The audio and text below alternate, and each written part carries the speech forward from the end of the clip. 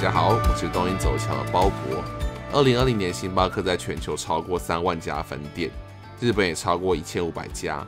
在这一千五百家星巴克当中，有几家不但有极佳的地理位置，本身的建筑绝对可以成为当地的地标。鲍勃这些就来介绍以星巴克为中心，包含店铺周边的景点介绍吧。建物本身大概有一百多年的历史，由古名家改建的京都二年版亚萨卡茶屋店，是全球第一间有榻榻米的星巴克。光是听到这个特色，就很想让人一探究竟吧。那废话不多说，我们就跟包博一起来探索这家星巴克吧。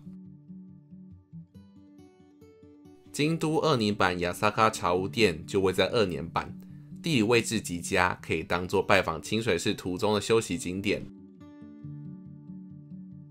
店家总共两层楼，保留大正时代建筑的样貌。走进一楼是点餐跟取餐区，以及部分的座位区。点完餐之后，通过很有古典感、窄窄的通道，可以走到取餐区。晚上配上淡淡的打光，更显现了神秘感。取餐区还有小而精美的庭园，边等饮料边欣赏吧。拿完饮料后，我们通过同样窄窄的楼梯走到二楼。晚上也是打着很简单的黄光，低调走廊隔开二楼不同区的座位区，有种高级日本料理店的感觉。榻榻米的位置真的很棒，有点点可惜的是这个区域有其他人，所以包博没有办法把整体拍给大家看。但上网也可以找到很多照片。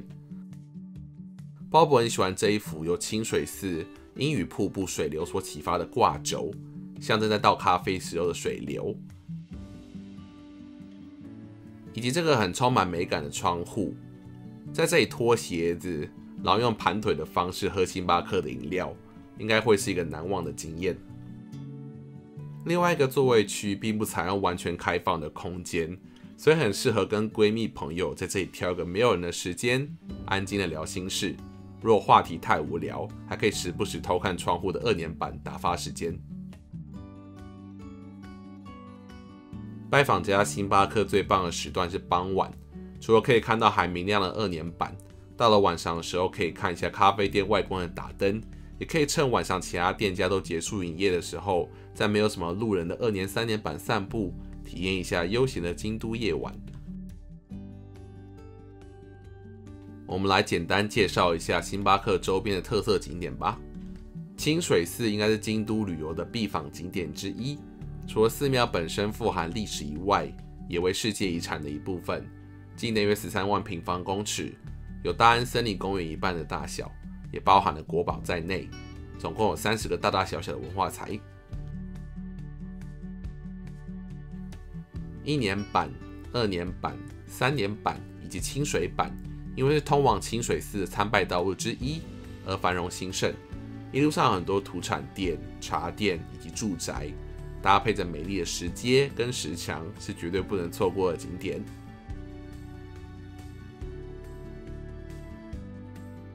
晚上可以走到一年坂附近的高台寺，春夏秋冬某几个时段会有夜间的特别参拜，晚上打光真的非常精彩，有些地方还会有灯光秀。慢慢在寺内走一圈，大家可以花个一个小时左右，很值得。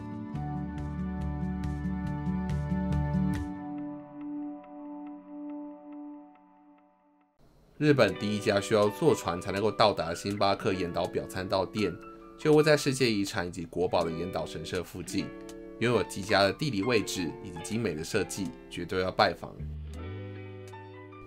宫岛位于广岛县。距离广岛车站大概一个小时左右的车程跟船程。广岛是日本三景之一，岛上自然跟历史兼具。这栋三层楼的建筑是跟宫岛 Brewery 合在一起。那鲍勃因为不喝酒，就不介绍啤酒给大家，我们直接介绍咖啡店。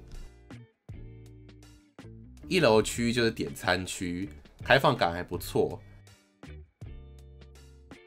可以看到这家店二零一八年有得到 Good Design Award。到二楼的楼梯间，虽然底色是灰色，但它被色彩鲜艳的海报以及木头色的桌子，让整体多了一种活泼感。二楼映入眼帘就是大片落地窗以及开放感十足的空间，这里可以直接观赏濑户内海以及大鸟居的景色。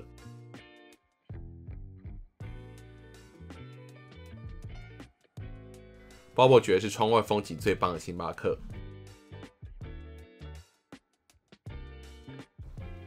内装采用星巴克常用的木质调座位，配上不同颜色的灰色，让整体看起来很舒服，但不会虚滑或是过于单调。墙壁上也有不同的艺术品，比方说这幅看起来像是超宽 4K 荧幕的画作。鲍勃后方的木头制的饭勺是宫岛传统艺术品，也是代表星巴克 logo 上 siren 的铃。整家星巴克，鲍勃最喜欢的位置就是面对海洋的沙发区啦，在这里喝杯咖啡，感觉真的很不赖。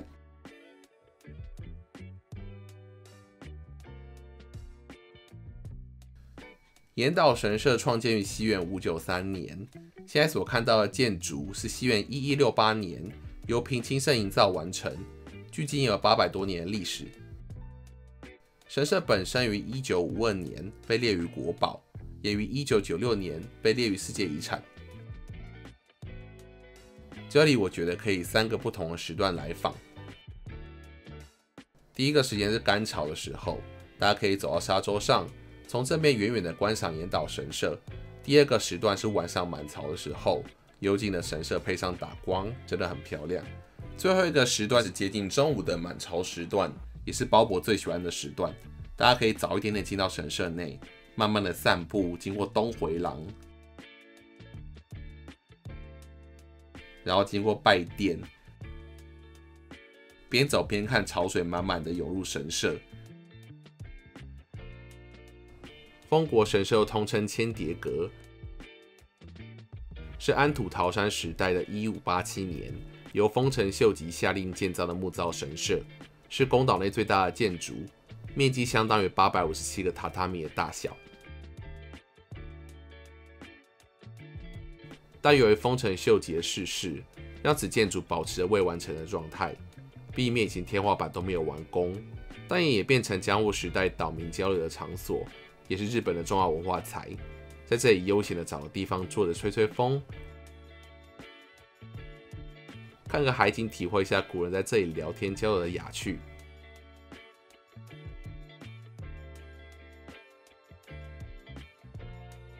宫岛上也有很多温泉旅馆。如果大家有时间在这里待上两天一夜的话，可以悠闲的泡个温泉，以及享用当地食材所制作的会席料理。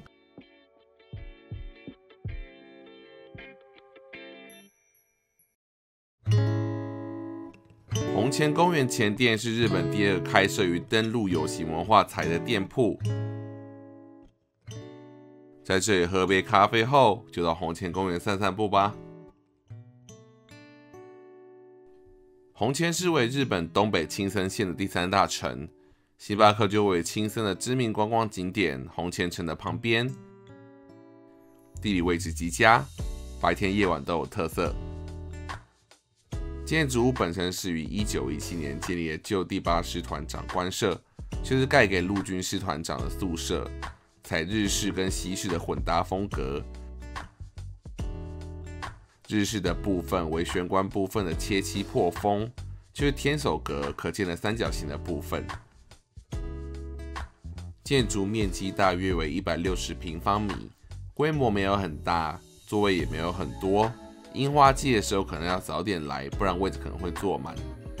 点餐的地方为当时的会议室，深受大正浪漫的影响，空间感跟温馨感都不错。这里有摆放一些位置。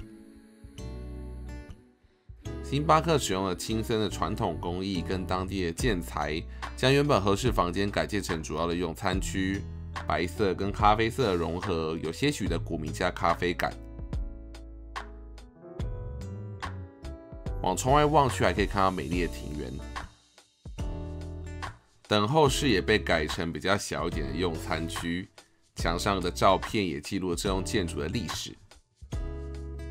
这也跟神户的艺人馆星巴克一样，都是登陆有形文化财，就具有国家历史意义的建筑。Bobo 推荐来青森红前旅游的时候，一定要来拜访这家店。拥有四百年历史的红前公园是知名的赏樱景点。Bob 来采访的时候是冬天，但也有另外的一种美感。星巴克对面就是护城河，这里晚上的打灯配上雪景以及冰封的河水，真的超级浪漫。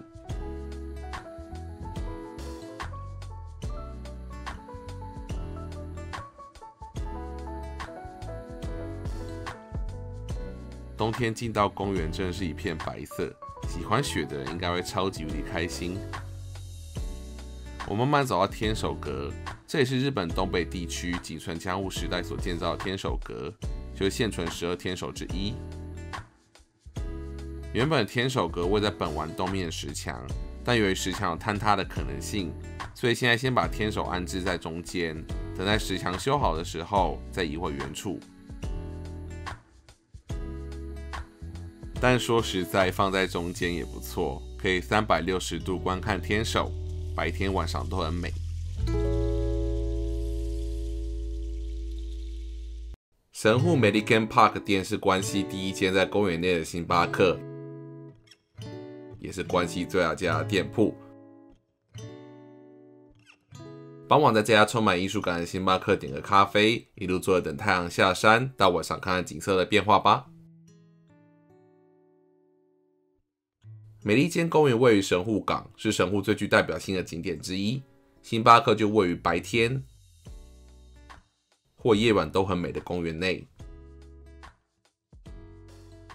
由于公园很空旷，让这家星巴克容易被找到。店铺建筑外观很有特色，像是一个艺术品一样，跟充满艺术气息的每一间公园十分的搭配。光是外观的美感，就可以让大家照相照个够了吧？到了晚上，这家店的打工也照亮了公园，带给旅客充满浪漫以及温馨感。咖啡店总共有两层楼，一楼是点餐的吧台跟座位区，吧台就在店内的正中间，跟一般星巴克靠着墙壁的点餐区有点不一样。木头使用当地产的木材，然后水泥地板使用回收的咖啡杯跟咖啡豆所制作，注重有序经营跟环保的概念。室外有一些座位。天气好的时候，在外面喝杯咖啡也不赖。走到二楼，鲍勃最喜欢的是室内面对神户港的座位，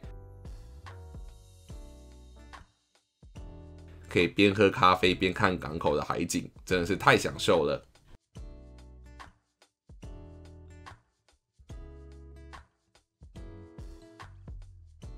二楼室外的另一区可以直接看到神户塔的美景。晚上的打灯真的很浪漫，有暧昧对象的各位可以趁人少一点的时候跟对方告白。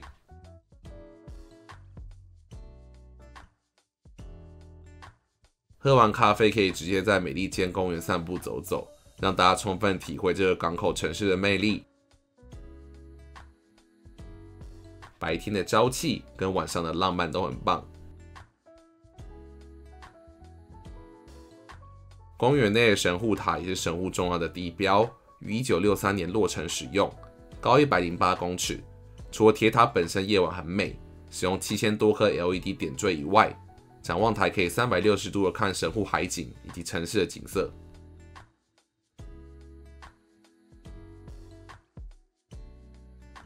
与美利坚公园只有一条街之隔的神户旧居留地。是神户于西元一八六八年开港通商之后，外国人所居住的区域。这区除了百货公司与精品店林立以外，也有很多历史建筑可以拜访。没有去过欧洲也没关系，在这里拍一张充满欧洲感的照片吧。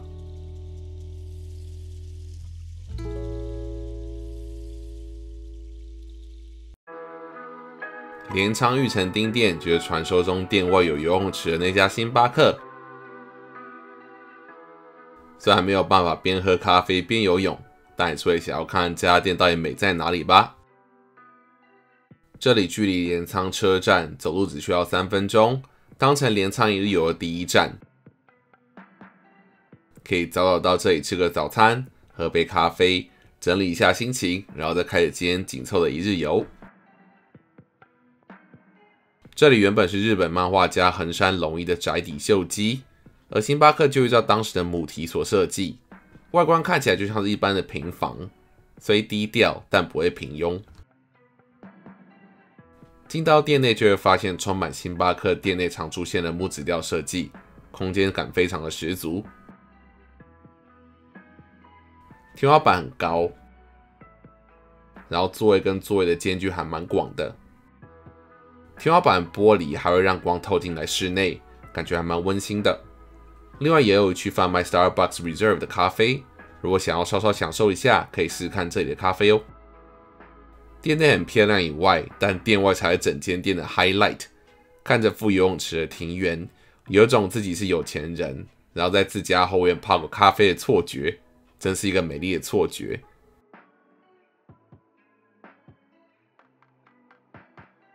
天气好的时候搭配阳光真的很棒，但下雨天的时候也有种浪漫的感觉。如果你的镰仓有不幸遇到了大雨，那就来这里躲雨一下吧。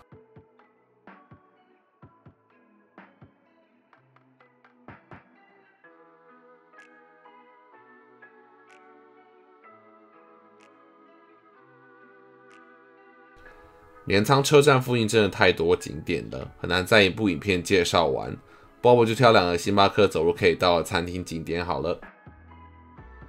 如果你是日式甜点控，从星巴克走五分钟到甜点百名店茶房与母 Kiara 来吃个日式甜点。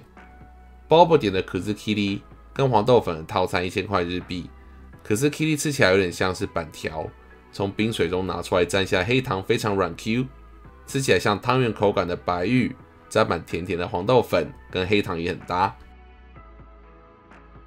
从茶房与木 Kiara 往前走个十分钟，可以到浅喜变天才与鹤福神社。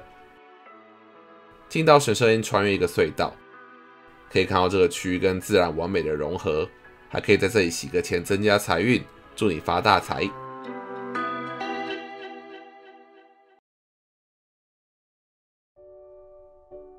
以上就是这次的介绍喽。如果喜欢我们的内容，还可以订阅、follow 我们的 YouTube、Facebook。还有 Instagram 看更多内容，我是鲍勃，大家下次再见，拜拜。